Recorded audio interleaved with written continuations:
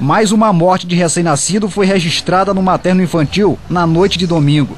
Álvaro Júnior morreu na barriga da mãe, Maria do Remédio Costa. A gestante deu entrada no materno infantil às 10 horas da noite de sábado. Ficou em observação. Durante esse tempo em que esperava ter a criança em parto normal, perdeu muito sangue e somente às 19 horas de domingo foi para a sala de parto. A criança já estava morta. A família acredita que a doutora demorou muito para fazer o parto na gestante.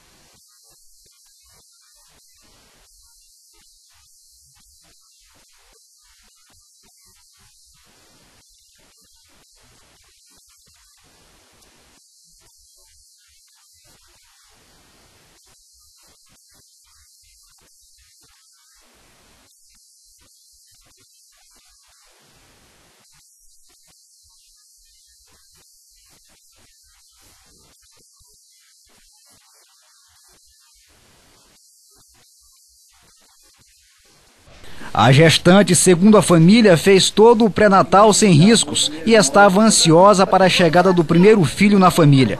Ela continua internada, teve hemorragia e está precisando de três bolsas de sangue O positivo.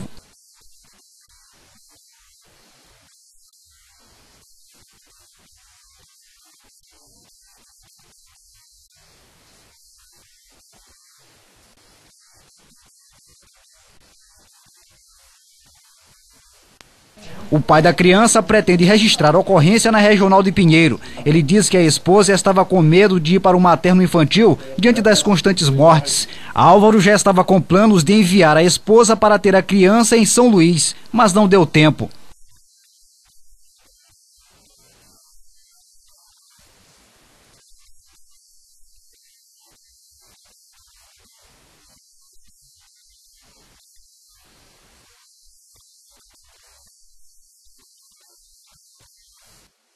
Este é o segundo caso de morte de crianças que veio a público no materno infantil este mês. Na semana passada, Rosângela Maria denunciou a morte do sobrinho, que foi entregue à família dentro de uma caixa. Procuramos a direção do materno infantil para dar explicações. Este homem afirmou que a direção enviaria uma nota hoje para esclarecer os fatos, mas ao procurarmos a maternidade hoje pela manhã, não fomos recebidos.